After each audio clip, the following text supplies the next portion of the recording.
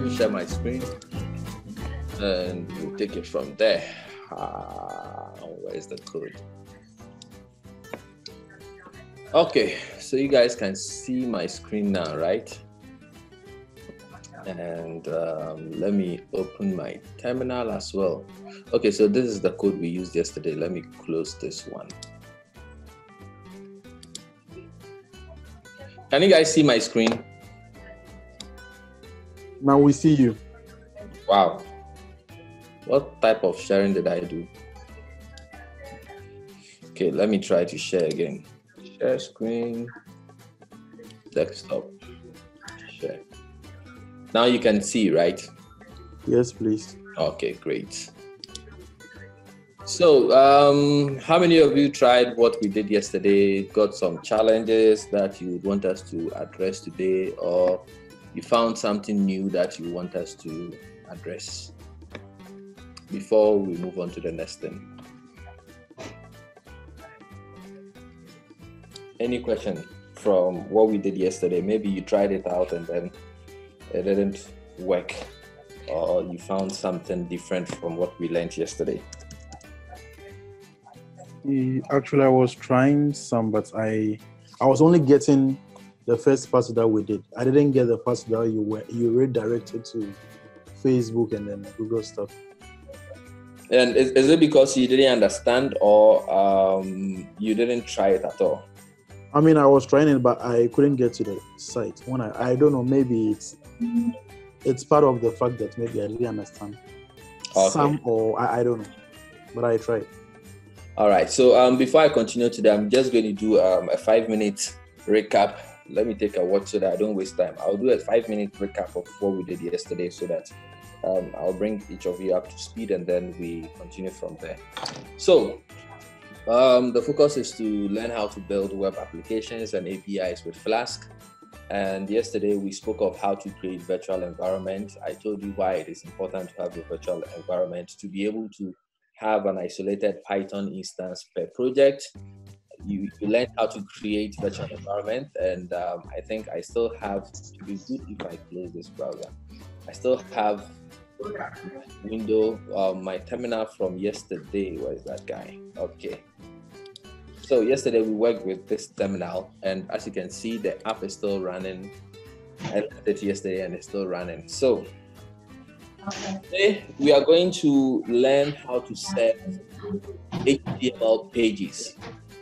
So um, you know that to create a Flask application, you start by importing Flask from Flask you create a Flask instance, and then you use the um, .route decorator to decorate your functions. And so that is what makes the function becomes um, a view function or a view handler.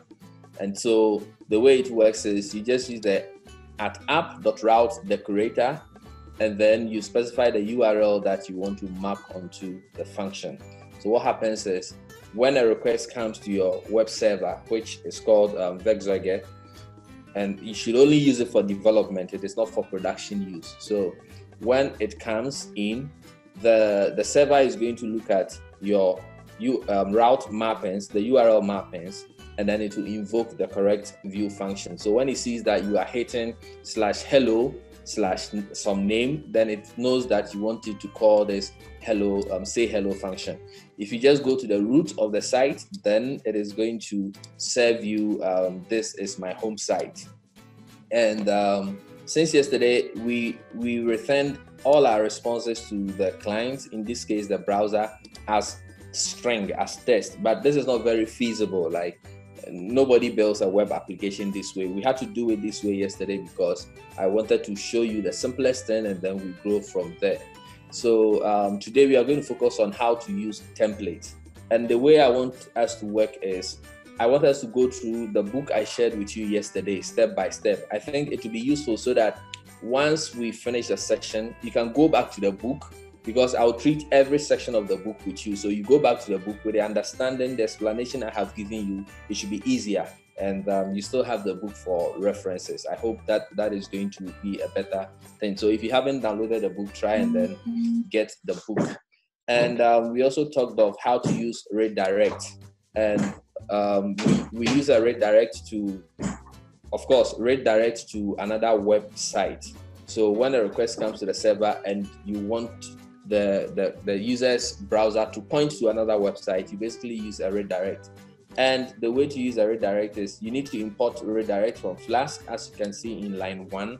And then instead of returning a string to the client as a response, you return a redirect and then you paste in the URL that you want to route to, and then it is going to um, point the client to that URL. And then one other thing we talked of is aside using the at app decorator to um, decorate your your functions to become view functions, you can also use the app.add URL rule. And the way it works is that you you call app.add URL rule, you specify the URL, you give the endpoint name. Today we will use the endpoint name so you understand what it is. And then you give the function that should be called in response to that URL. So basically, what you are seeing here is when the user goes to slash um, fake Facebook, we want to call the function go to Facebook. And go to Facebook, what it does is to return a redirect to facebook.com. So that was it about um, the redirect. And we also spoke of how to run your application. You saw that you could run it from the terminal by exporting or creating the Flask app environment variable, and then you can do Flask run. Otherwise, my favorite is to start your server programmatically. And the way to do it is you check if the name is equal to main, then you do app.run. So you can specify the host and you do 0.0.0.0 to make your application accessible outside your computer. Debug equals true is going to turn mm-hmm. on hot reloading and it's also going to make the debugger available in the browser. It is something you should not use in production because it gives a debugger in the browser which basically hands over access to your server to anybody who is viewing your website. So you only do debug equals true when you are um, building, when you are developing the app. Once you are done, you need to turn it off. And we also spoke of how we can um, change the port number. So by default, Flask runs on port 5000. And the way we can change it is to just specify port and then give it any port number that we want to run our application on. So I'm going to get rid of everything here since you already have the video because today we want to start um, doing something a bit useful. So now I have an empty um, Flask application and as a matter of fact, this is something you can run. The only problem is there are no URLs that you can visit. So as you can see, the server is still running and um, I should be able to go to my browser. Let me open my browser. I think I have too many tabs open. Let me close, close, close, close, close. And then I'll go to um, localhost 5000. And you see that now I'm getting not found because we haven't defined anything uh, any route handler for the root of our application, which is what we are going to do today. So our focus for today is in um, chapter, let me check the chapter, chapter three of the book. So I want us to treat a chapter every day so that by the end of Friday, tomorrow you will learn how to um, read and write from databases so that you can do persistent storage of data in your applications. And then um, the, on Thursday, we learn how to build JSON APIs. And then on Friday, we do a recap of the top stories and then how to deploy your application. So today our focus is on um, chapter three. Let me check again. Yeah, chapter three, templates. So you saw that the way we hand, we built our handlers yesterday was to do this um, the, the creator thing, and then I'll say def index, and then I'll say return my home page. Now, if I save this and I refresh, you see my homepage. The reason why I didn't have to restart the server is because I'm running in debug mode. So hot reload is um, working here. It identifies that I have changed the Python code, so the server restarts itself. Now, this is a very impractical and intractable way to build web applications. The reason why it is a problem is there is no separation of concern here. You can see that we are mixed, uh, we are mixing what we show in the browser with the Python code that has to power the web application. If we work this way, the problem is that you can't split your teams into front enders and back enders. because that is how we work in industry. In industry, we have the front end people who focus solely on building the user interface, which I am not good at. So don't expect nice looking user interfaces in um, this webinar. I can, I can give you very rascal ones. And then we have the backenders who focus on writing the core logic that powers the application. So it's like the back end is the engine of your car, and then the front end is everything that has to do with the dashboard, the, the, the, the painting, and all those things. So if you you you mix how to set up your route handlers with the um, web page itself, the UI this way, it becomes difficult for you to um, have a team that splits the workflows into two so that one group of people can focus on back end whilst others focus on front end. Thankfully, Flask has a way of making it possible for us to serve um, um, HTML web pages without having to write HTML in our Python code. And the way to do that is we start by creating a folder inside the root of your project. So the folder that contains our project is called Flask Webinar. Inside it, you create a folder called templates, and it must be templates. It can't be anything else. If you want to change it into something else, then you want to go into um, Flask source code and then do some configurations, which I don't want to do now. Now, just take it from me that you create a folder called templates. And inside templates, you are free to put your HTML in there. So let's go ahead and then create um, some HTML inside template. So I'm going to call um, something, say, home.html.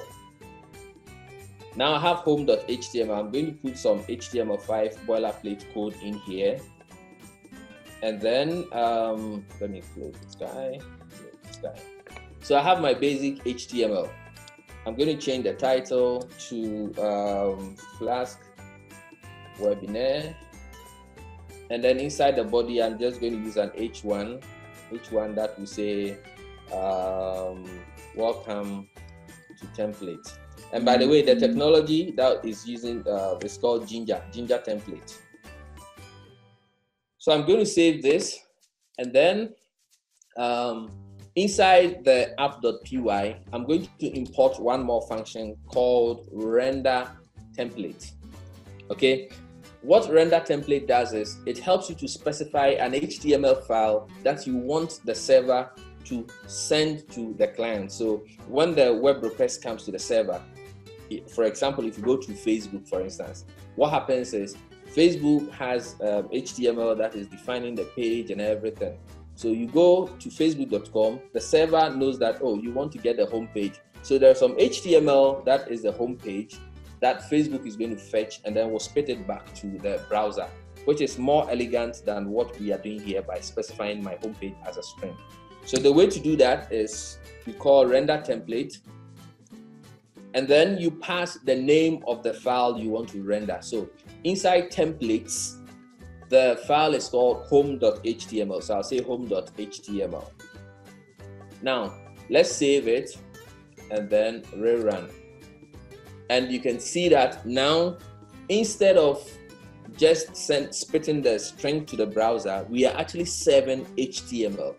How do you know you are serving HTML? You can inspect the web page because HTML is such that once it comes into the browser, anybody can see the source code that if you go to Facebook and you want to see the HTML source code, just right click and then go to view page source. Any site at all, you see the, the, the source code in there. So if I view the page source, you can see that it is exactly what I wrote inside um, this HTML file over here. Any questions so far?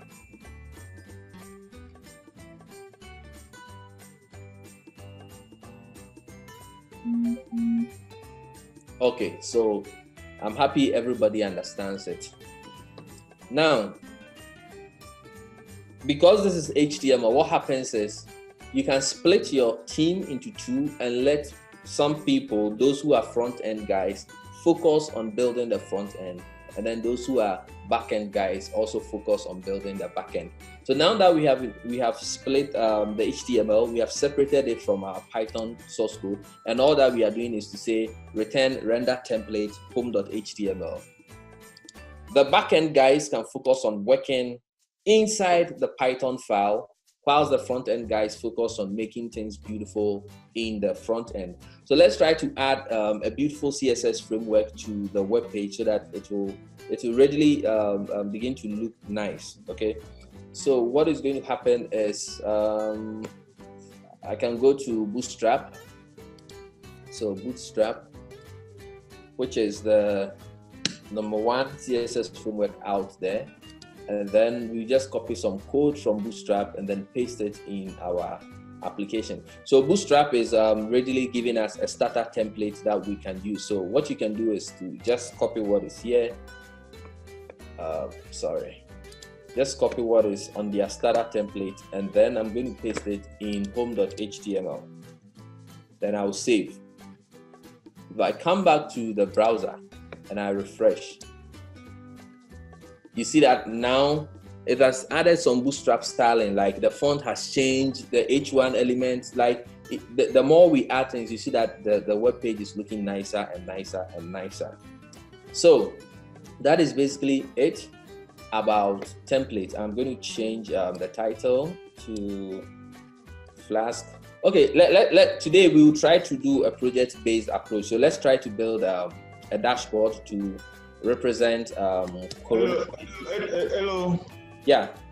Please, I, I, didn't see how you paste um, the, the file. Where did you paste it? I didn't see the. Where did you paste it?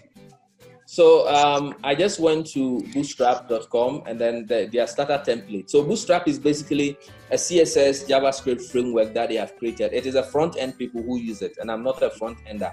But when okay. you come there, they will show you how to like basically if you want to add nice things uh, they, they, they have everything you need. Say you want to add nice buttons and all those things. So if you come okay. to their page and then you click on um, buttons you can see that already you have some styled buttons there that you can use that you don't have to write code for. Okay? So that is um, bootstrap. And what i did was i just came to their starter page. In fact this code is good. Let me copy it so we can also see it. I just came to their starter page if you come to their homepage, they have a starter template that gives you the boilerplate HTML that you can use to start building your own web application. So I just okay. I just copied it by pressing Control C, or you can click copy here, and then okay. I came to the template file that we created, the home.html, and I pasted it. That oh, okay. Yeah, and now I have even gone ahead to copy the buttons on their site, so I can let me format this code so that it looks nicer. Oh, damn, I don't have HTML formatter. Uh, okay, enjoy yourself. So um, i have copied the buttons that they are showing on their site, and then we will also see how it renders in our application. I'm just I'm trying to get my editor to format this and it's telling me how to format that. Okay, so let's go back to our web page, refresh, and you see that now the buttons are showing like um, they, they were showing in the CS um, Bootstrap CSS, just that they are bigger here. I think there is something we are missing to, to add, but that will not be the focus. So for those of you who are front enders, you can look into Bootstrap. Definitely look into it. It is um, a very nice framework that makes it easy for people who suck at UI like myself to be able to build nice looking um, web pages. So, any question?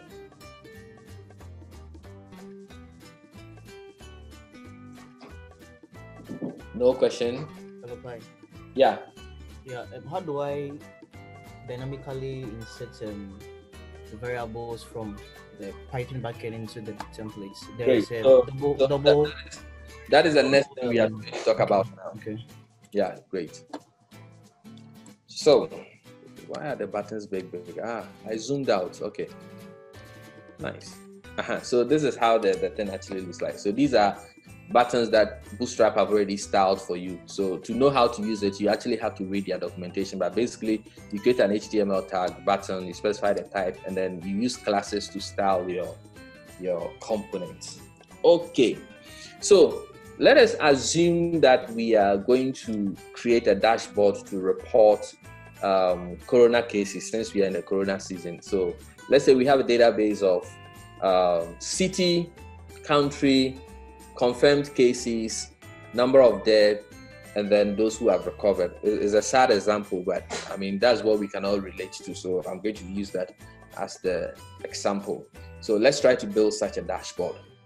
Now, he asked the question that you can see that now there is complete separation of concern between your Python code and the HTML code, such that mm. at this point, if you are using a source control system like Git, your front enders will just keep coding. They will be coding in the template folder.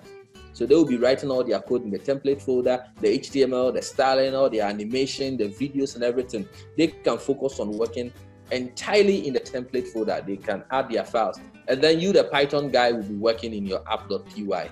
So you will be dealing with talking to the database, getting the data, handling authentication. Um, if it has, is a site that has to do with payment, you need to check that people can pay, blah, blah, blah. You are doing the core stuff, and then they will also do the beautiful UI. So everyone is important in this game here. Now he asks the question that because you can see that there is a good separation of concern between the Python file and the HTML file, the next question then becomes how do you pass information from the Python side of your software to the HTML side. So it's basically how do you create a bridge between the back end and the front end. And it is super, super, super easy. So, like I said, we are going to create a dashboard. Let's say we want to give our dashboard a title. Okay. What you do is inside your view function, you define a variable that stores the data, and then you make that data available when you are calling render template. So I'm going to say title. Um, I'm, I'm, going to call something. Uh, um, yeah, let, let's just say dashboard title. So this is a normal Python variable for those who um, know Python already. So dashboard title, and I'm going to say Corona 2020 dashboard. Now the question is, how do we make this Corona 2020 dashboard show up in the HTML. We don't want to come here. I mean, the simplest thing is we can come in here and hack our way around by saying H1 Corona blah blah blah blah blah. Then I'll save. And then we refresh. So this is what I pasted in there. But this is not dynamic because I have hard coded it in the HTML. So his question was, how do you do something dynamic? How do you show something in the front end that originally came from the back end? And the way to do that in um, template is to use Jinja variables. Okay, so the template engine we are using, I said, is called Jinja, J I N J A, Jinja 2.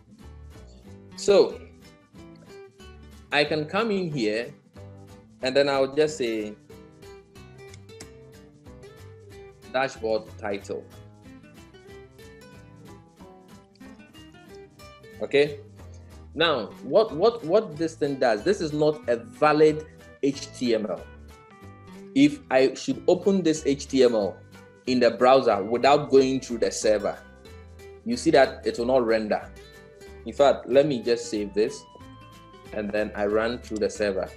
You see that because and the way you know you are going through the server is because you are going to localhost http um, http colon slash slash localhost port 5000 it goes to the server. What happens is the server saw that you were trying to use a variable that doesn't exist and it didn't complain about it. Let's go and inspect the source code. You view the source code and you can see that what happens is the Jinja template lets you provide placeholders in your HTML. A placeholder is like you promise that there will be something there, and that something is going to come from the Python side. So, how it works is before the server sends the HTML to the browser, it is going to take the template, the HTML, through the template engine. And it's the work of the template engine to fill in those placeholders. Let me show you why I'm talking plenty like that. So I'm going to open the HTML page inside um, a browser without going through the server. And the, what I mean is I'll just double click on it so that Chrome will open. See the difference? This one is not going through the web server. And you can see that I'm loading it from my file system. Users, Pi, desktop, class, webinar, template, home.html. See when we go through the browser, um, when we go to the server. the server passed it through the template engine, and the template engine realized that you had a placeholder, but you didn't provide any value for it, and so it did not complain. But in regular HTML, see that it renders it as it is. So I, I don't want you to think like uh, maybe Jinja is a joke. Jinja is not a joke. It's a very powerful thing, and what it does is to replace those placeholders with real values. And how you do that is the next thing I'm going to show you. So one more time, let's check the source code. See the source code for the HTML page I opened without going to the web server. You can see that it is verbatim, it is as it is, just as I pasted in there. But if I come to um, the one that goes to the server and I inspect the source code, you can see that it did something. It, it saw that I'm trying to use a placeholder that I didn't provide a value for, so it put an empty string there. Okay, great. So let's go and then see how we will be able to fill in the value. Now we have defined a variable, it's a Python variable, and we said dashboard title is Corona 2020 dashboard. And then I'm returning render template. So what I'm saying is just load the HTML, home.html, and send it to the browser. But inside home.html, I have a placeholder over here. It is called Jinja variable. And the way to do that is to bring two curly braces. So this is how you do it.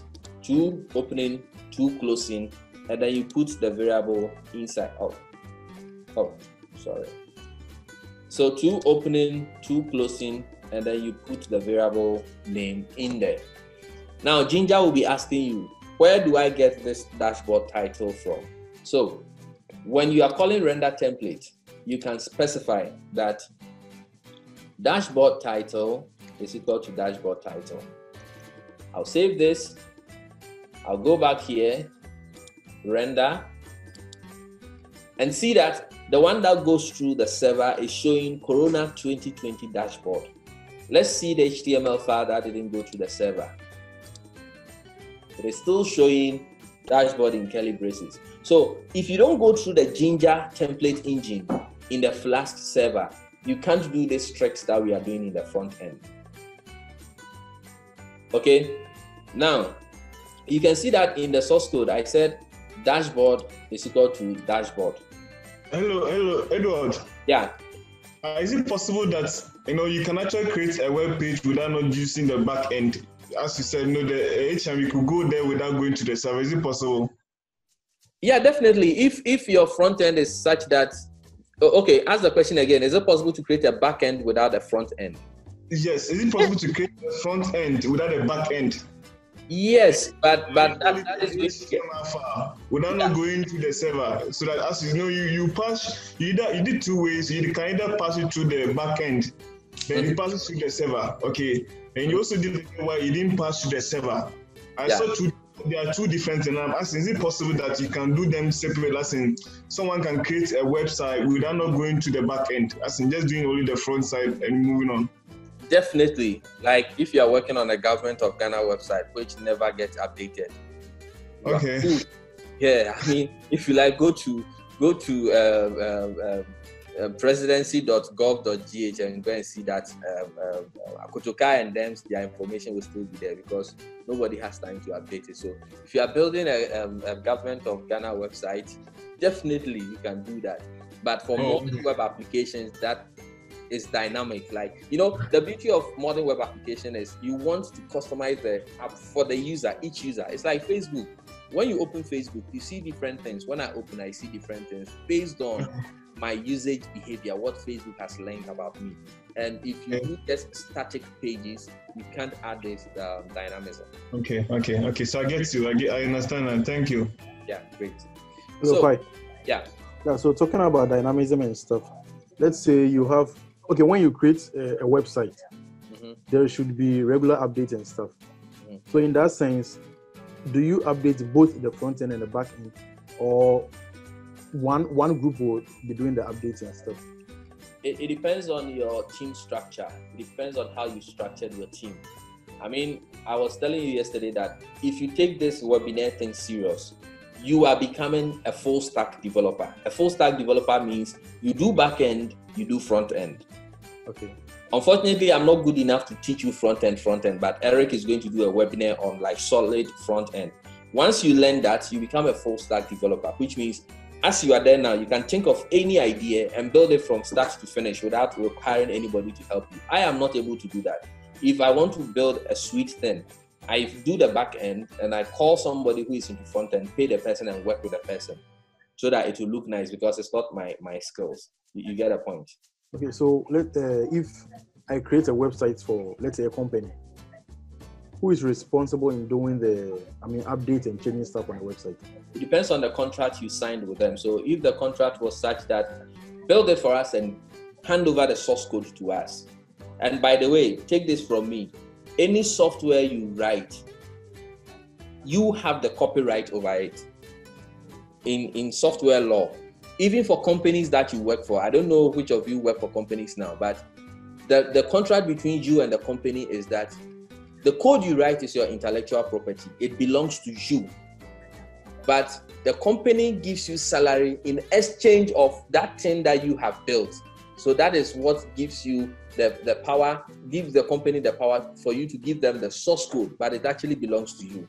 So it depends on the contract you signed with the people. If you are such that can build us a, a, an application and go away, cool. Always ask them, do you want me to build it one time and then update? You find somebody to do it. If they say fine, most of them they won't say fine because nobody wants to come and maintain what you have done. It is easier if you maintain it. But if they say yes, then you build it, you give them the source code, and over.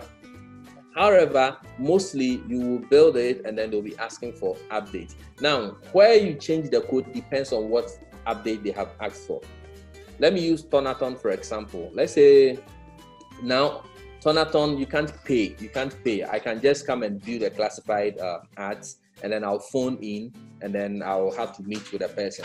But let's say for some reason, Tonaton say they want to go a step ahead and they make it possible for people to pay on their site where the change will happen is going to be on both sides because the back end people have to integrate into payment APIs like Visa, mobile money, and stuff like that. You have to write code to talk to the telecom companies that somebody is paying, blah, blah, blah. And the front end people also have to modify the user interface so that you can click some button and enter your mobile money details or your Visa card details, and then it will go. Okay. okay. Now let's assume that Tonaton already has payments. And then let's say what they say is okay now we just want to change the payment processor the company that processes the payment itself. As long as they are not going to change user interface the front end people don't need to touch anything. It is the back end people. So let's say initially um, payment processing was done by um, express gh and now they want to change it to insano or ranka or um, there is this nigerian payment company i've forgotten or paystack. Then it's only the back end people who mostly have to do work. So it depends on what change you are asking for.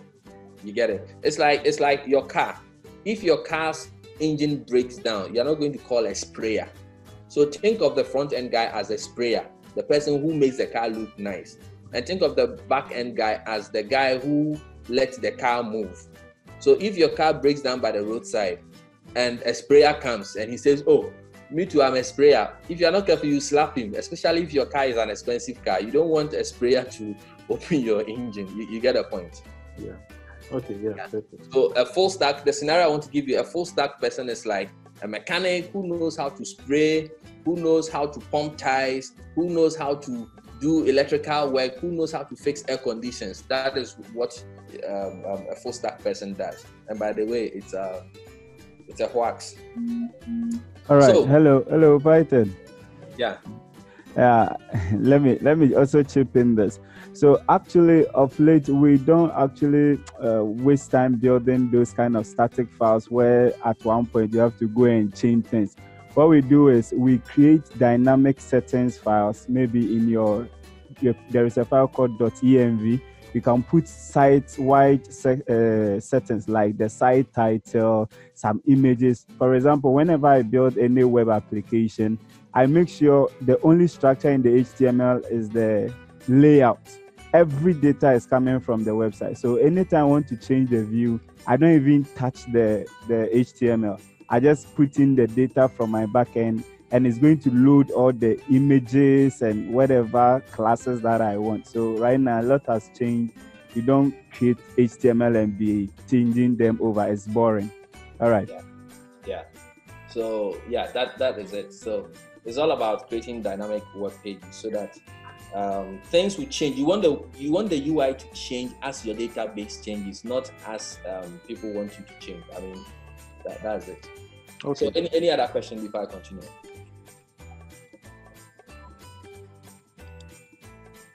Okay. So um, I was talking of how you pass the data to the front end. I said dashboard title is equal to dashboard title. Some of you might be confused, like, ah, should it be the same? No. The one on the left, dashboard title, this the one on the left, refers to the variable name that you used in your HTML. And then the one on the right is what you want to substitute in place. So I can even call this page title. And then I'll come here and then I'll say dashboard title is equal to page title. What it means is that when you are rendering this template, read this code this way. The code says render template home.html dashboard title is equal to page title. What it means is that render this home.html to the client. Whilst rendering, you will see a variable called dashboard title. In place of that dashboard title, put whatever is in page title there. If I save, I come, I refresh in the one that goes to the server. You see that nothing changed. If I go to the one that doesn't go to the server, it is clueless. It has no idea what that thing is supposed to do. So you don't necessarily have to say um, uh, the variable on the left and the right shouldn't have the same name. The takeaway is the variable on the left is the variable name you used inside your um, your page, and then the variable on the right is what you put in place of it. Do you understand? Okay, so I'm going to take that as. I understand it now. Thank you. Okay, great. So I'll, I'll do one more and um, to show you that you can also do control structures in template. You can do if statement, you can do for, because of course, we use a for loop to um, create the table that we want to create. But before then, I want to show you how to use an if statement. So we haven't done databases, we'll do that tomorrow. So now I won't do anything that talks to a database. So all our data models will be like, we'll simulate that in Python. So let's assume that you want to show one thing to the user if the user has logged in, and another thing if the user has not logged in. How will you do that? You see, this, this is why dynamic front end is nice. So let's come in here. I'll declare a variable um, has logged in or has authenticated, or I can say authenticated is equal to false okay? And then over here I will say um, authenticated. My, my code is getting long so I'm going to break it into multiple lines. So I'll say render home.html I'll say dashboard title This is equal to page title. And then I'll say um, I would say authenticated because authenticated. Now, it is not an error for you to make a value av- available in render template and not use it in the in the HTML. It's not a problem. If I go, um, Flask is not going to complain about it. But in the front end, I want to check if you have logged in or you have not logged in. We want to show you different things because if you go to Facebook and you have not logged in, Facebook will take you to the home page. But if you have logged in, then they will show you things on your news feed and stuff like that. So let's say on our page, we also want to simulate that thing.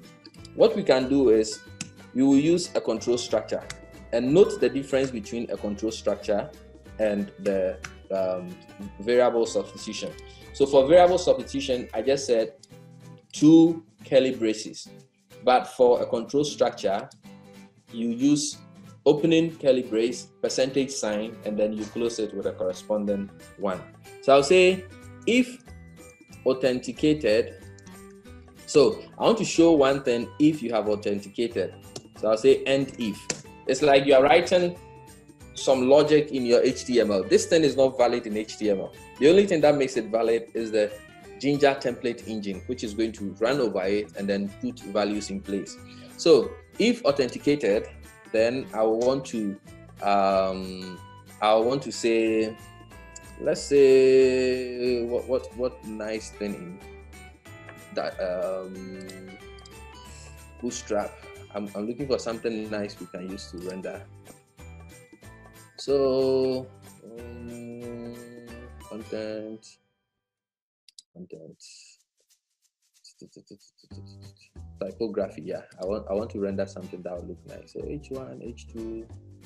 Um, yeah, I can use display. I can use display or maybe even lead. Yeah. So I'm going to copy how they do their stuff, and over here I'll paste it in there and then I'll change what is in here. So let's say if you have logged in, then I want to show welcome and then your name. For now, let's assume the person's name is um, who is popular in Ghana, Bukom Bankum. So I'll say welcome, Bukom Bankum. Okay, and then we can do an else. So I can come in here and say else then I want to say um, I mean we can show a button for you to log in or something. So I can do a form and then I can do input and then I will say um, what else can I specify in an input? Placeholder is um, email address and then over here too I can do input password and then placeholder um, placeholder is equal to password. So this is purely HTML this one you you, you have to know HTML I don't even know HTML this is what they taught me in KNUST and Thankfully, I've not forgotten. So let's go back here and refresh our web page. And then we are seeing Corona um, 2000, and then it is putting a form there. Why? Because I said if authenticated, then show welcome. Else, what did I say? Okay, yeah. So the, the logic is inside the, the HTML, we want to check if the user is authenticated, then we want to show welcome Bukom Bankum. We are assuming that the user's name is Bukom Bankum. Otherwise, we want to present you the login form for you to go and log in. Okay. Now, because I set in app that authenticated is false, in the HTML, when Jinja is rendering the template, it will check authenticated is it true or false it is false so it won't render everything that is in here then it will come to the else. It's like a normal if else. Then it will render the form. Let's go back and then change authenticated to true. And then i'll go back to the browser refresh. And you can see that it's the same html page but it's doing different things depending on the value that comes from the backend so now it is assuming that you authenticated simply because I came in here, I came in here and I changed authenticated to true. And then inside HTML, I'm checking if authenticated, show welcome Bukom Bankum. This is normal HTML. So the Jinja um, construct is just helping us to structure our page and add the dynamism in there. Else, we show a form that you have to use to um, log in. And unfortunately, our form doesn't have a button, but I think we can add one. So button, and then I can say class is equal to btn and then btn um, success. I think th- these ones, th- these things I'm typing is coming from Bootstrap, so um, don't worry your head over it too much. If I come here and I change authenticated to false, then I want to see my form and then a button. Yeah, so I didn't add test. So let's say login. So if I come back here and I refresh, you see that now we have a form to log in if you have not authenticated. But if you have authenticated, then we will show you your username. You can go a step further and then just say, instead of showing Bukom Bankum, we want to even fake a username here. So I'll say username is equal to John Mahama. Okay. Now, once I do this, I can supply username back to the um, front end. And like I said, the variable names don't have to be the same. This that is a good habit. So I come in here and instead of saying welcome Bukom Bankum, I'll use the variable substitution. Because see, if you're using an if statement, which is a control structure, you do curly percent. But if it is just a variable you want to substitute, you just do two curly braces. Then I'll show username over here. So I'll go back here, refresh, because authenticated is false. If I come and I say authenticated is true, I expect to see um, I expect to see John Mahama. So I'll add welcome John Mahama. So let's go back here, refresh, and then you can see that it is saying welcome John Mahama. Any question? Because I know you have a lot of questions. Ask them, and then let's take a break.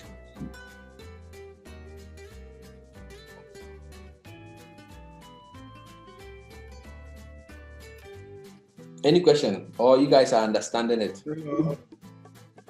Yeah. yeah. I was going to ask about the control structure, but I think that from your explanation, I've understood it. Um, okay. The control structure and the, uh, where you substitute.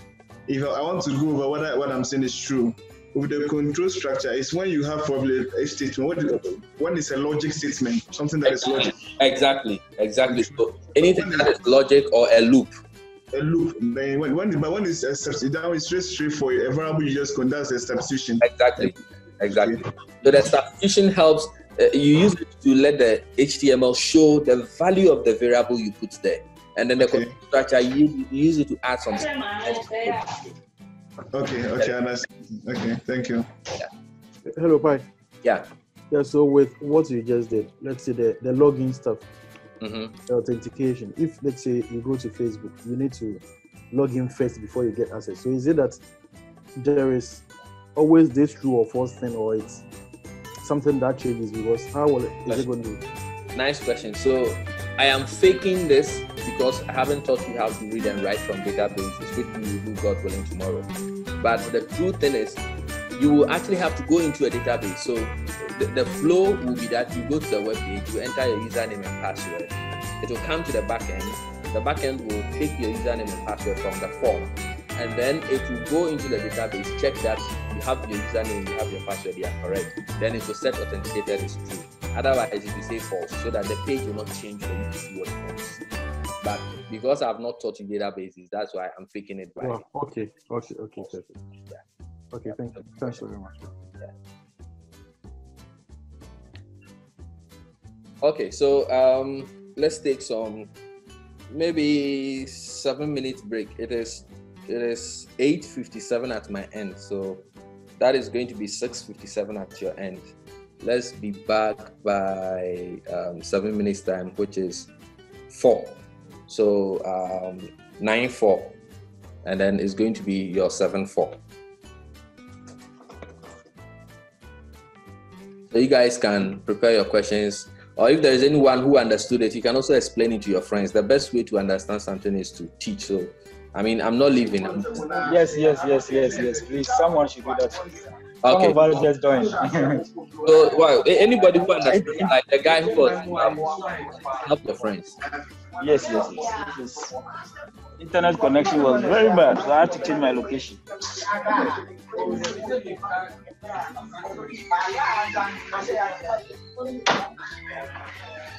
So who is volunteering?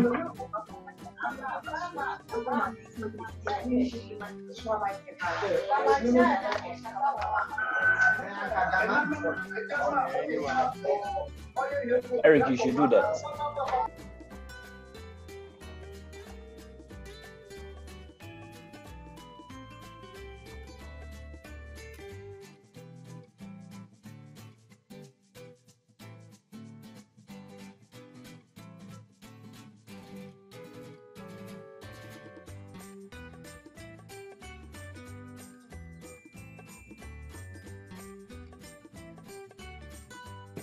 And you want to check the data type of age. This is telling me age is an integer, but you see that when we check for the data type of k, it said Kofi is a tuple. So to declare a tuple, you just use the um, bracket and then you give comma separated values, which are the, the attributes that you want to store. So basically, I am uh, saying that the first thing is the first name. This is the last name. This is the department. This is the person's CWA. So to get Kofi's first name, what I need to do is I'll say Kofi, and then I will index zero because a tuple is an index data structure. So if I say K0, it's going to give me Kofi because K0, the item at the zeroth index is the first name. If I say K1, if I say K1, that is going to give me the last name. If I say K2, it's going to give me the department. And if I say K3, it's going to give me the CWA. Is this clear up to this point? I just want to uh, like give you a, a dress rehearsal of um, tuples and lists before we go back to using it in Flask. Does this make sense? Yes, it's clear. Makes sense. Okay, thank you. So I'm going to show you another data type. Let's say you want to store um, the name of the um, capitals, capital cities in the world. So I will say cities is equal to to create a list. That one you use the square bracket. A tuple is the normal bracket, and then a list is a square bracket. So I'm going to just put in a list of cities. So I'm going to say Accra, London, New York,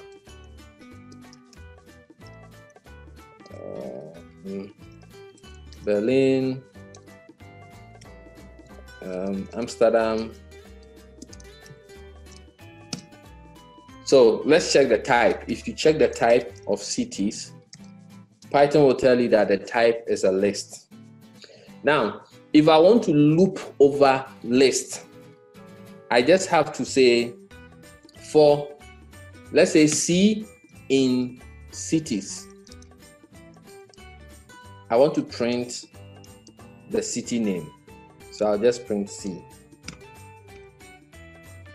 So what this piece of code here does is it is saying that for so this is how you read Python code. For each C in cities, so the C stand for the individual cities that you have in there. And because it's a for loop, it's going to loop over them. So it will start and then set C to Accra. On the next iteration, C is London. On the next, it is New York. On the next, it is Berlin. On the next, it is Amsterdam. So if I print, then it prints everything in there. Now, the good thing about Python list is that a list can contain other lists and other tuples. So let's say I'm going to create information about um, two people here. So um, let me check some of you, your names. I see Isaac Atta and Emmanuel Atta. So let's say I, I, want to store information about these two people, and I'm assuming they are brothers. So I'll say um, brothers, brothers is equal to a list of tuples. So the first tuple is going to represent Emmanuel Atta. So I'm going to put Ima as the first name. The last name is Atta and then I'm going to give him a fictitious age, like 25. And then I'll come and then create for the other Emmanuel, um, for the other Isaac. And then he's also Arthur. And I will assume that he is um, overgrown, so he is 78 years old. Now, what happens here is brothers is a list of tuples where each tuple contains information about a particular person. So if I want to loop over, I can say for, let's say, bro. I mean, it's a variable name. You choose anything. I can even say for person in brothers. Okay. So what what happens here is, then what is it? For person in brothers.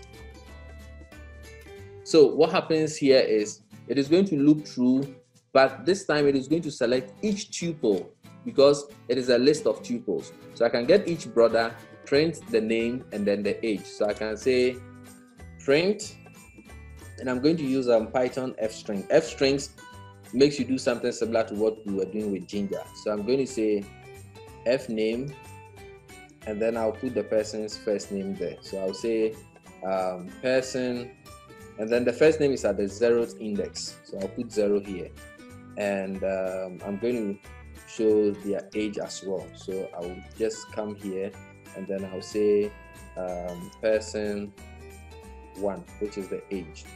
So if I run this code, what did I miss? A string expecting, didn't I close something? Uh, F name is equal to, oh, damn. Now I need to repeat this whole thing. Okay. So let me let me come. Okay. And then I will say print I left one um, curly brace. Was expecting a curly brace here. I think this should fix it. Okay, so you can see that now it went through the, the brothers that I created here. And then for each of them, it showed the first name and then the age.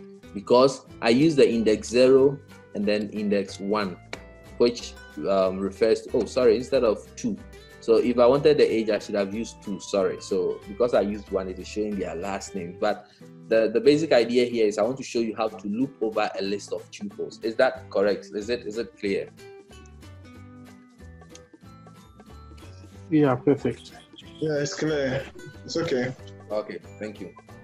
So we are just going to do the same thing in uh, in our Python code. So I'm going to quit this terminal and then I'm going to run our server again. Great. And um, so over here, we have something similar to the brothers list of tuples that we created. And we want to pass it on to the front end so that we can use it to create a table with the front end. What's going to happen is we come here and then I will I will say records is equal to records. I'm not passing username and all that because we don't need them anymore. So I come in here, I wipe everything. Let me save and refresh. So we have a beautiful error. It is saying name error, authenticated is not defined. It means I am using authenticated somewhere that I have not defined it. And you can see that over here, I'm saying authenticated is got to authenticated, even though I've not declared it anywhere. So that is the um, debugger at work. I refresh and problem solved. Great. So when you get errors, just read them. And then when, whenever you see name error, it means you are using a variable that you've not defined or declared. Simple. So now dashboard title is coming from Corona 2020 dashboard. Records, we want to make use of records. Before we do anything, let's try to just spit out records into the, the page and let's see. Let's see what we get. This is Python. We can't break anything. So you see, I brought Python, I, I brought the, the records into the HTML by just putting the variable name in there and it renders it just as we place there. But this is not nice looking. This is not a good way to um, present something to um, your users. So let's try to create, let's be good people and then create um, the nicest UI I can create. So I think can do um, container and um, I can do uh, by the way, this container things I'm doing is not part of the Flask course. It is Bootstrap. The little Bootstrap I'm doing is what I'm using to scare you. I'm not that good, so don't learn Bootstrap from me. I'm just using Bootstrap to make the page look a bit easier. Okay, let me see. I, I want you to center the thing. Yeah, so I have I have it centered now. And then we want to render our table. So what's to happen is um, I will come in here and I'm going to put an HTML table. I've even forgotten how to create a table in HTML thanks to internet. So HTML table. Then let me go to W3 schools. You see, this is how you learn.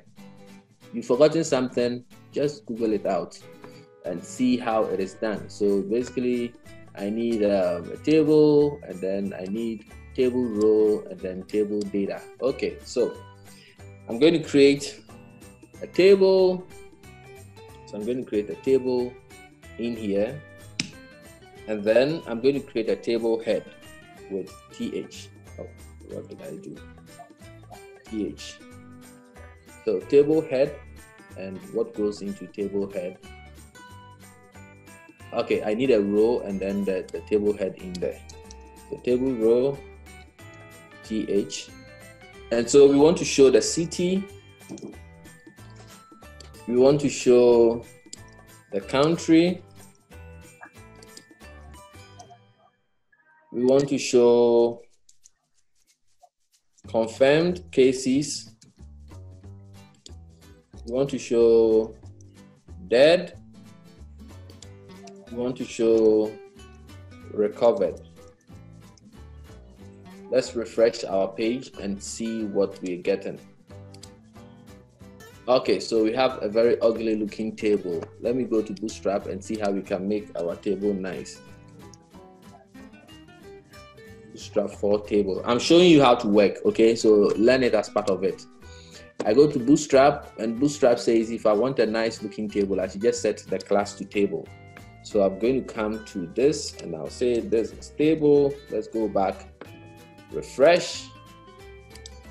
Yes, we have a nicer looking table. So you see that the advantages of using Bootstrap, like it makes bad people like myself able to do um, some sweet UI. Okay, so now we have bootstrapped the structure of our table and we want to be able to create the other rows, okay?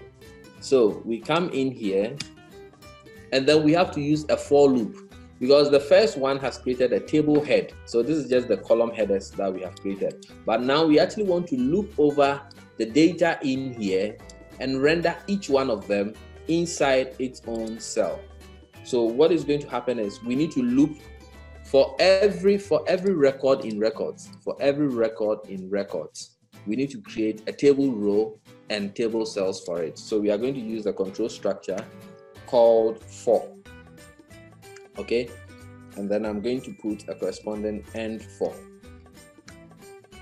So I'll say for record in records. Where is records coming from? Records is coming from these records we have defined here and we are passing it to render template. So it means inside the template, there is a variable called records that contains all this information. And now we are going to loop over to render. So I will come in here and then I'll say um, for each one of them, I need a table row. So a tr, I'll need a tr, and then I'll need a td to show the city, and the city is at record zero. Let's let's see what we get with th- just this simple um, example. I know this is not going to work. I'm going to leave it to you as um, as an exercise. I'll give you one minute to figure out why it will not work. So I'm expecting that I will look at the table and I should see Kumasi, Accra, Berlin, Vicenza, Wuhan. I know it's not going to work. Why is it not going to work? So why, why am I seeing this instead of actually seeing the values?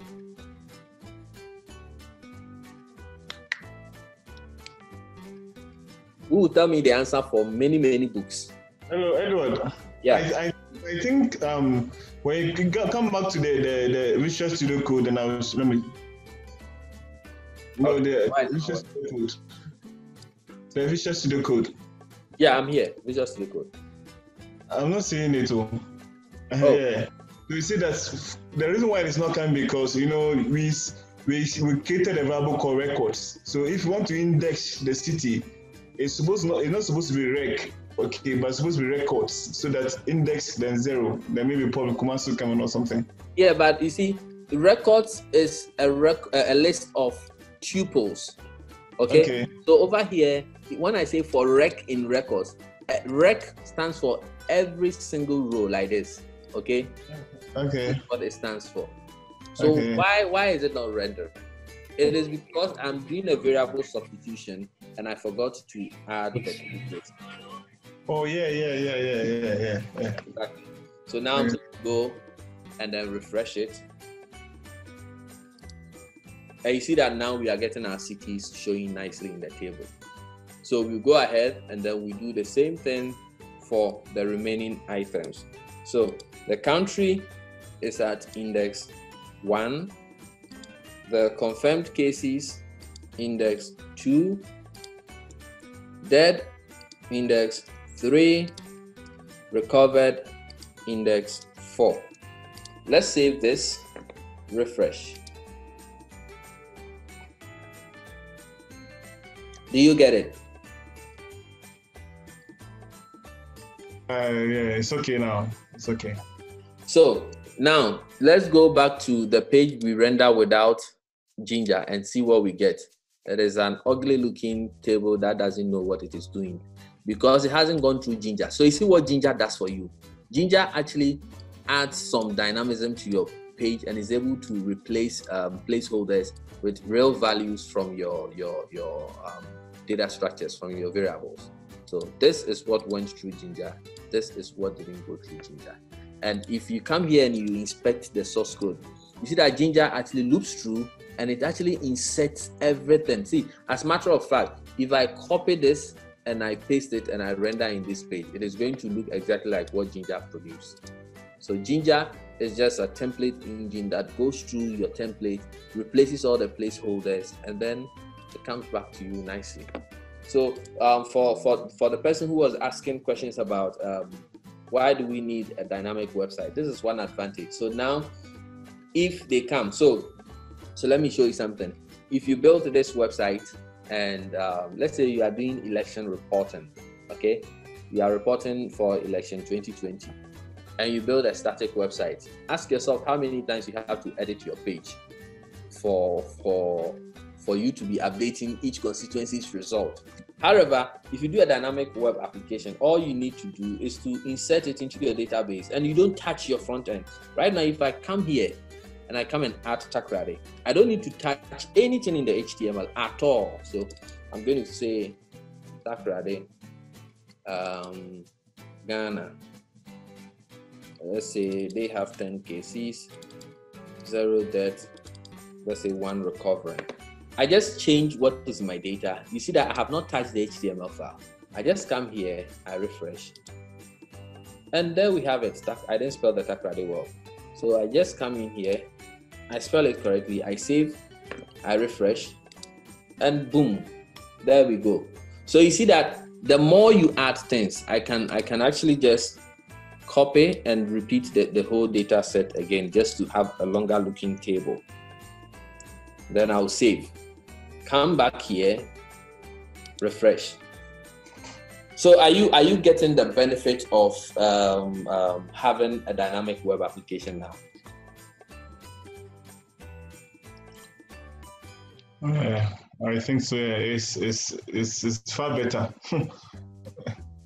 so um, I think I have bombarded with you with a lot of information today, even though, I mean, we've covered the most important aspect of the templating. We are left with uh, macros, which helps you to create something like a function that I want to be easy on you guys. So let's pause here, ask your questions, get clarifications. You have the books, so read the books. And the best way to learn is not watch me do it. This is a webinar, so yes, you, can, you might not be able to code along, but you have the book read the book, do every single thing the book does. That is the best way to learn programming. Don't learn programming like you are reading a storybook. It doesn't work that way.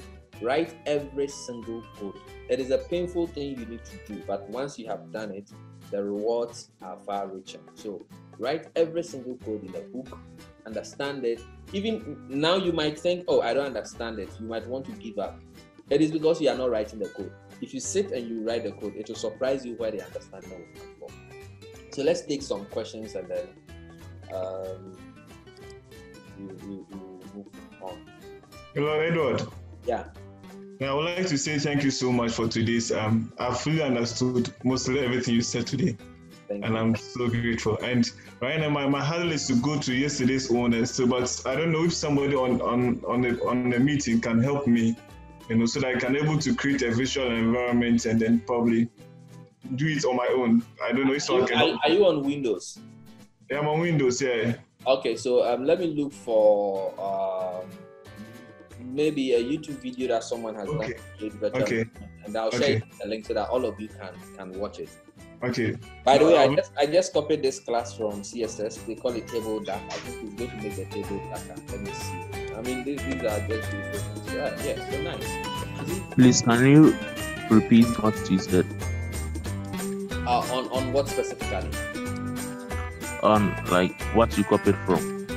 Ah, so I just copied um, a table class called table data and I added it to my table here. So CSS Bootstrap made my table that, which is nice. On my own, I can write um, uh, CSS to make the table look like this. I mean, this is the nicest UI I can do.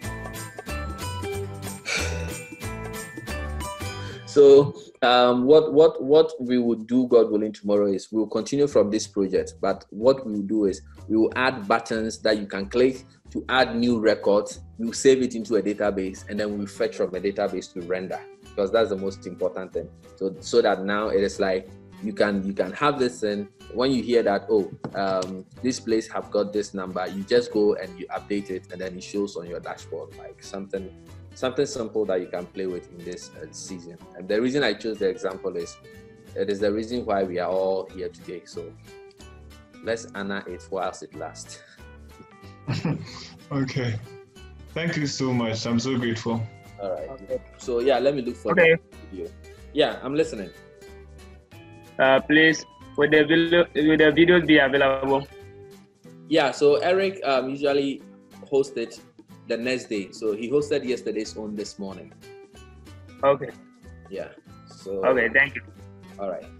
Thank you very much for today. All right. Thank you too. So um, I think let, let me see this video if it makes sense. So if it talks nice. Uh, it's recommend. Okay. Oh man, you you, you want somebody to install VirtualBox? Right, click on that and. No, I want virtual okay, it's now environment. The files and install Hello. Yes. Yeah. Yeah, uh, I promised recording one. Just I had I had two videos. Uh, so now I could do a to differentiate I think this video will be good. Yeah, so, yeah, yeah. You can actually do that. So. I'm going to share this with you. So, for those of you who are struggling to um, set up virtual environments on your machine, but the, the best the best thing is, guys, try and get yourself involved in Linux. Try as much as possible to get yourself involved in Linux because there are not many places you can work as a developer and use Windows. Trust me, it's only in Ghana that developers okay. Windows. Yeah. Okay. So if you don't want to be a village champion, start getting involved with Linux. If you want to be able to leave Ghana a bit, try and stay away from Windows. Leave Windows for the um, um, um, graphic designers. Okay. Even they they are investing in Macintosh. Okay. And What? With that. Yeah so questions questions questions. Ask if you don't ask questions it's either i didn't teach well or i have confused you so much you are pissed off with me. So ask questions. It can be about what we did or uh, any any general question like we did yesterday. I just feel like you've had too much information overload that i need to pause and since you have the book you can continue from there. So any question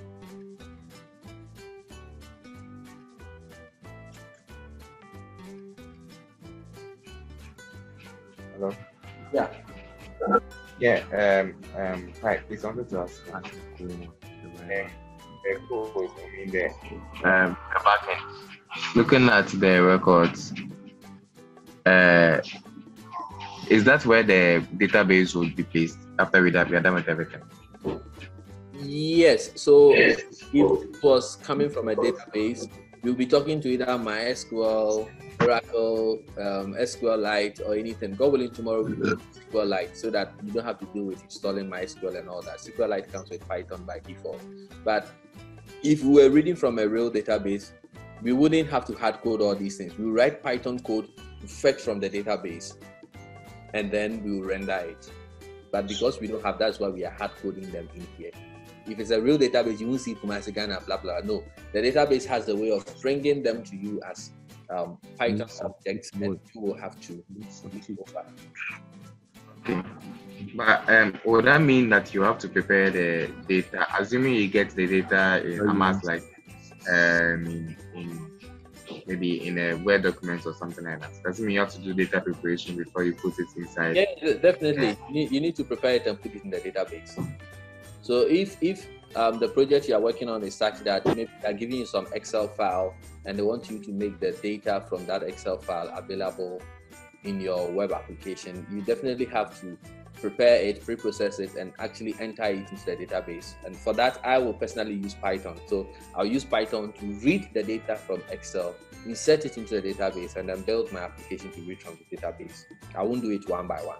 Imagine um, um, you go to um, um any of the uh, government agencies and they give you an Excel file, which you shouldn't be surprised when they give you an Excel file in 2020, because that is all they know and um, to have millions of records, you can't possibly go through one by one and then change things. So you definitely want to write code to do that. But yes, you need to find a way to get your data into the database.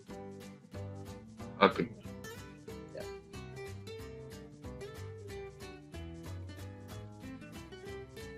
Any other question? So, w- which one of you works um, in a in a software company, and uh, what what do you do? Like any one of you can share what you do with us.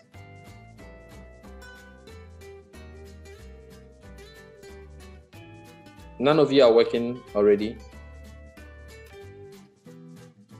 No. Okay, so you're all still in school. How about internship? Okay, um, the thing is, some of us are done. With, some of us are done with school. Okay. But we are working, but not in a software company. We are now trying to transition into the software industry. Yeah. So we are learning. Okay. Um, bother about knowledge. Yeah. Okay. So may, may I ask what your background is? Okay, I did I did actuarial science. Yeah. Okay. Okay. Okay yeah so and and how is the transition going so far? Because um it's, it's, it's a very valid thing you are doing and uh, the reason i'm asking this is i want to see if your timeline is realistic enough and then also uh, give you any advice on how you can speed it up. So within how many months are you looking at um, transitioning into a software engineer? Okay um that's why i asked you the question yesterday. So when you mentioned um if you've actually had an exposure to the language, it would take less than eight months to do that. So that's actually what sticks into my mind, and probably I will go by that and try to stick to that and I mean, um, t- take it with a grain of salt. It is not um, a definite timeline. If I say eight months, it is eight months of dedication, determination. So, so let me show you how I learned programming. So, I did computer science for the first three years. I didn't have a laptop. Uh, me, I'm a very, um, I'm, I'm, I'm a village boy. I'm from a village, so I didn't have a laptop. For three years, I, I was using people's laptop to practice, and because I didn't have a laptop, when I, whenever I get somebody's laptop, like I really use it. I use it to practice coding, coding, coding. So you are fortunate to have laptops now. You have internet around. Eight months is definitely doable but you need to be um, dedicated and you need a discipline. So the, the way you can expedite this is don't just um, watch video tutorials. It is deceptive. You can watch tutorials and then you feel you know the thing until they actually ask you to do something. And especially because you haven't had an experience in uh, software engineering already and your background is not in computer science, it, it can be tough for um, tech companies to hire you because one, you didn't do computer science. So the way you can win the game so that they will hire you over a computer science student is that you will write more code on your own, build plenty projects, like plenty projects. Any project that you think of, even something that you think is stupid, build it anyway. Build it, create an account on GitHub, push it there, push it there, push it there. Because one of the things um, hiring managers look at is how often you write code, because it's a measure of um, how sharp your skills are.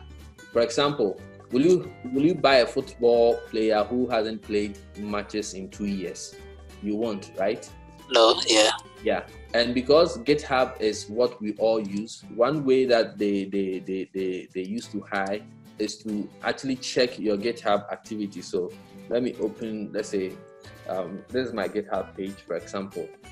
So this this map here, it shows how often I am pushing code. Okay, and it, it is it goes by the years. So for somebody who is getting started, one way to showcase your interest in um, coding is to actually create an account on GitHub and push anything, like anything at all that you are working on. Just push your code there. If you push it on GitHub, you can access it anywhere in the world. All you need is internet connection. Push it, push it, push it.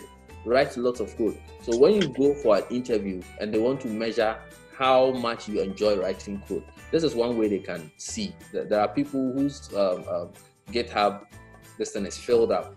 It is not always the best measure, but for somebody who is starting, they want to see that you are motivated enough to write a lot of code. So it is definitely going to be a challenge for you, but um, definitely do it because it is very rewarding. And always get in touch. If, if you need any help, just get in touch and then let's see how best we can expedite this. Okay. Even getting an entry level job either in Ghana or yeah, now getting it in Ghana will be much easier. So Okay. Thank you for your advice. You're welcome. Yeah, so questions.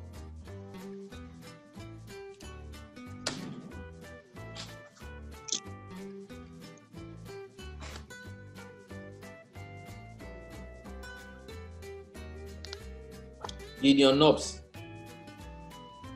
You've not spoken since we started. Oh, Oh, okay.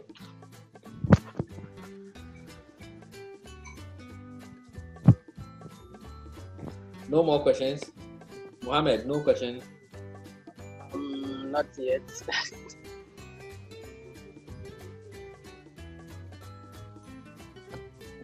So how how has it been so far? Like this webinar, the, the first two days.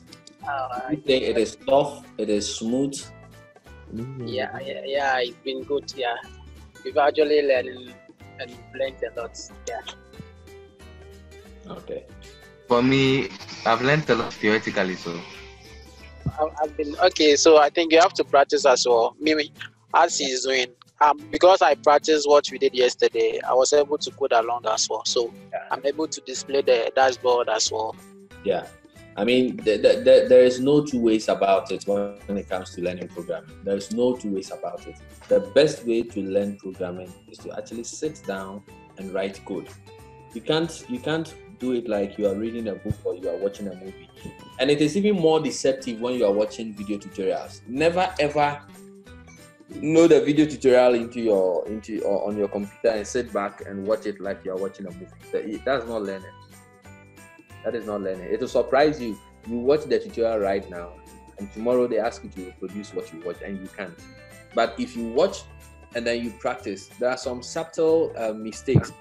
One thing about video recording is the person recording the video edits it. One that is one thing you people don't um, remember. They, it is edited. So when I'm recording, unless I want to genuinely show the mistakes I made so that people can learn from, which I do all the time. Me, I don't edit my videos, I just record my post. But people spend a lot of time to edit, so they remove all the mistakes and all those things. You not see, but the learning comes from making the mistakes.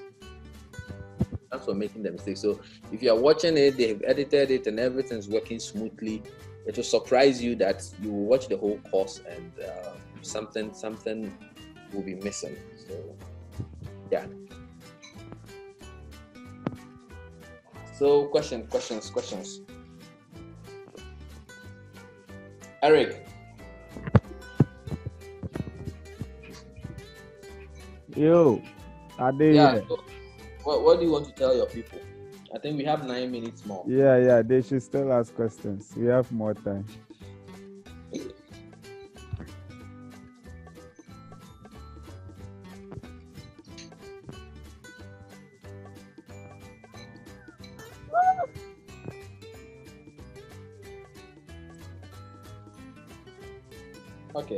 There's no more question, Eric. Maybe we can.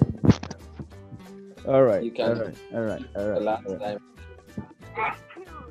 Okay. So um. Hello everyone. Yep.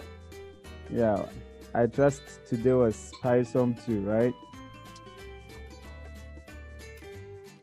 Yeah, one thing I've realized Yeah, of course. for every uh, programming session, it's uh, it's usually not exponential decrement, but uh, yeah, there is a decrement. that one you can't stop it. Okay. So um, tomorrow we will have another session. Okay, it continues till till Friday. So like he keeps on saying, uh, the learning aspect is when you do it on your own. Okay, here is a lecture, so he comes talk blah blah blah blah. Now you have to sit back and try things out. Okay, we all pass through it. Sleepless nights. I was teaching in um, La Paz. I will be sitting on the computer till the next day, back, go to work, and then be sleeping in class. Yet we still didn't give up. Bad internet, and like he said, I I actually also when I was in first year, I didn't own my own PC. Even 2008, when I started doing uh, MS DOS, I was using one of my students' PC. But the thing is, determination rules them all. You can always do anything when you are determined. That one. And uh, there was this guy when I was in first year called Tony. A mate of mine that I used to use his PC. In the end, I became a programmer. He did not. Every weekend he will borrow, he will lend me his PC, and by the time he comes on Monday, huh, know, I can know that the PC is lightweight. So you don't have any, you don't actually have any excuse not to learn programming. Seriously, you have no no excuse because right now data is available, video tutorials everywhere. I keep on uh, pestering you with these tutorials. So look, if after after two years you don't know how to code, be a challenge. Then the people doing you, they are wearing they are wearing kambu. so please let's let us. I know it's not easy for beginners, but then yeah, it eventually becomes easy. That is the thing. It eventually becomes easy. It gets to a point where you see code, you see error, and you are not bothered. you you you you are told something and you don't even waste time to put the computer to try it because you can run everything in your head and even know you will get to that point but then it takes continuous mastery even now every morning i do two hours coding i'm trying to be one of the people who can push code to c++ code base so that is that is my challenge for this year and every morning I am learning C++, every aspect of it. I'm following this guy, the Bjarne Stroustrup, the inventor of C++, his books, his talks, and all this. So we all do learn. Okay, we all do learn. Next, uh, I think next three weeks or something, I'll be teaching AppScript, how to use Google's applications and stuff. These are things that I haven't used that much, but then I will learn it in order to be able to teach you. So that means I have to keep myself to learn. So in this line of business, it's all about learning, learning. You don't stop it. You just have to learn till you get to a point where you feel uncomfortable not to learn. Okay. So uh, that's that's my advice. Again, this video is going to be ready by tomorrow. Uh, yesterday I had to prepare C++ and uh, also work on this. And this one, uh, what we did yesterday was about two hours long. So it took almost half of my day rendering it. My PC is not that strong. And tomorrow I'm supposed to record a C++ session. So um, this video may be ready in the course of the day around two o'clock. So just bear with me. I'm the same person doing all the work. Okay. Eventually we will hide. So thank you very much for coming. Pie, thank you for another awesome session. Please, uh, those of you think I don't sleep, I sleep okay. so stop contacting me around one o'clock. All right, so see you tomorrow and uh, have fun coding. Master, you don't sleep. You don't sleep. This brings us to the end of our tutorials. Now, as I always say, please don't fall prey to shortcuts. Learning programming requires you to spend time to obey the process, spend time to understand the basics. Don't be in a rush. If you go in rashly, you will end up not knowing anything. Is that okay? Remember, follow the process, take your time to understand the language that you are using. You are as good as how best you can use your tools. Now, I want to express my gratitude to our partners and sponsors. Saytech designs and build smart agricultural machinery suited for African conditions and use. They also provide fabrication training and computer aided design services to manufacturing industries. Syriatech Technologies is an electronic component retail shop at China House at Dum Kumasi. So you can contact them for all your electronic components, including Arduino kit and sensors of all kinds. Tesken Enterprise is the number one distributor of electronic components, electrical components, and hardware. You can locate them at HM4 Market, Kumasi. Call them for all your electronics and hardware needs from analog to digital devices.